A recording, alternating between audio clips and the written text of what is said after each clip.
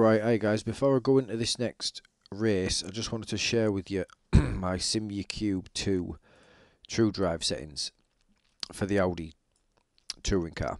So, it's basically my regular profile, but what I found, and you might um, be familiar with this if you do any oval racing, as you come up off the fringe onto the banked corners, it, it judders quite aggressively. Um, and I found that the Audi has a similar feel uh, when you're over the curbs.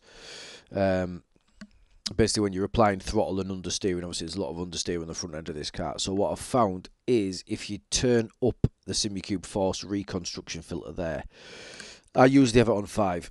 I've tuned that turned that up to eight, um, and that just smooths that out. Now, whether you want to um, go that way is entirely up to you. Obviously, uh, one minimum fast um, is a little bit more direct, a little bit quicker. I feel the force is is a little bit more direct to your fingertips, if that makes sense.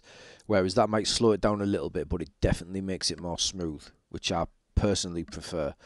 Um, hasn't slowed me down, I don't think so it might just be one that you want to give it a go. Personally, I avoided this Audi for quite some time because of the knocking. It was shaking my rig to bits. I'm only on a GT Omega Pro.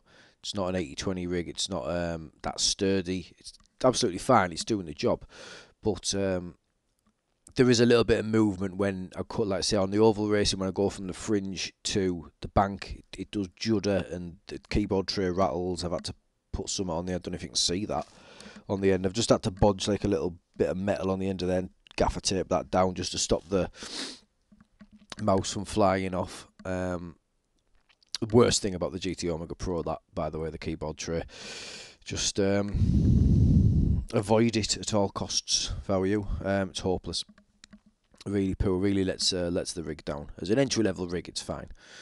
But uh, anyway, back to this. Um, yeah, give it a go if you want to um, try it. If you're interested in any of the settings, they are down there. The only thing I've changed, I think I've turned these two from 8% down to 0.